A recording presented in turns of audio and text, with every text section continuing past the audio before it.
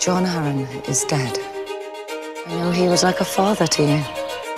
The king rides for Winterfell. He's coming this far north. There's only one thing he's after. You can always say no, Ned.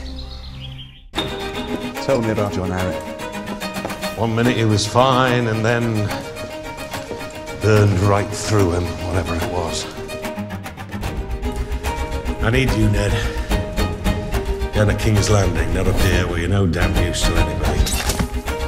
Lord Eddard Stark. I would name you the Hand of the King. Your Grace. You got fat.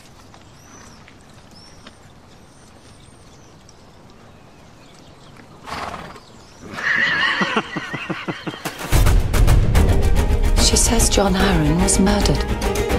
She says the king is in danger. Who but you can protect the king? They murdered the last hand. Now you want Ned to take the job. He's the only one you trust.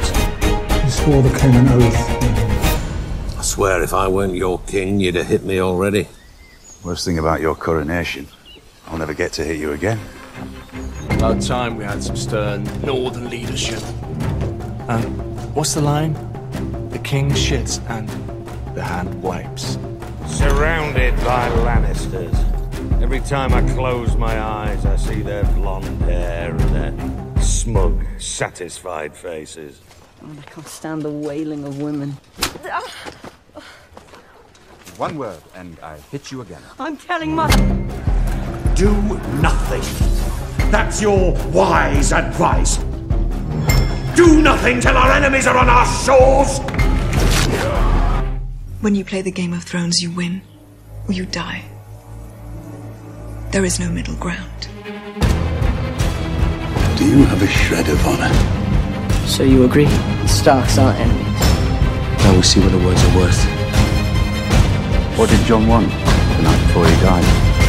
What I am about to tell you must remain between us. The war coming, Ned. I don't know when, I don't know who we'll be fighting. It's coming.